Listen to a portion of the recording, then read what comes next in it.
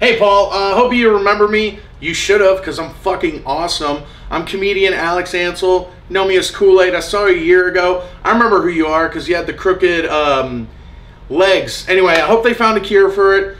I heard it's your birthday, and, uh, you know, so happy birthday, Paul. This is all for you, buddy. Uh, this is from Kyle and Helen because they're cheap as fuck.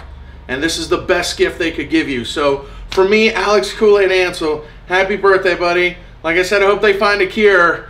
And this is for you, buddy. Mm -hmm. God save the Queen.